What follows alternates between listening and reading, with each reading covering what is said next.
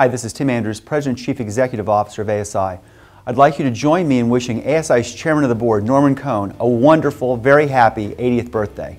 Here at ASI, Norman is the sun in our universe.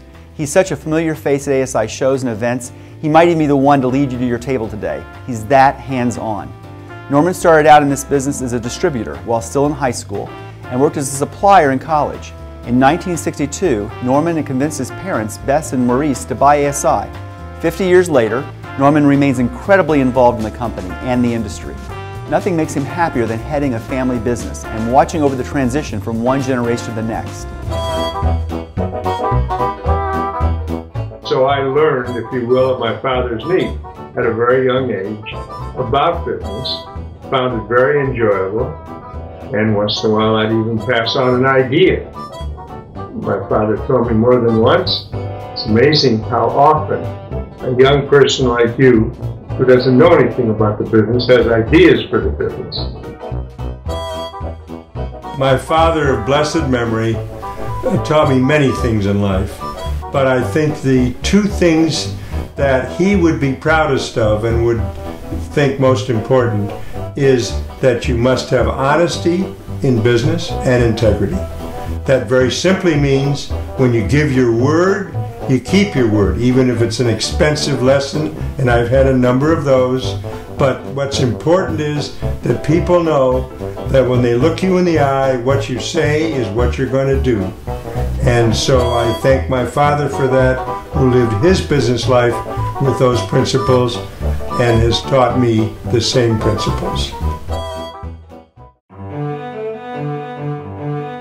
My best business decision was marrying my wife she is so helpful, caring, thoughtful, tries to keep me uh, on a straight and narrow path. She is really an amazing person. I am so lucky. Uh, I met her in Athens, Greece. I was on a young president's trip. Uh, she had started a company in the cosmetic field in Australia, and uh, we I'd never gone steady, been engaged, we met on uh, April 1st, April Fool's Day. Got married uh, February 14th, Valentine's Day.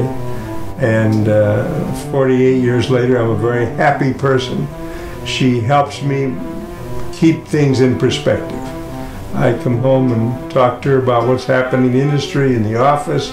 She comes up with amazingly good ideas. As I've said to her, if she ran my business, we'd be bigger and better.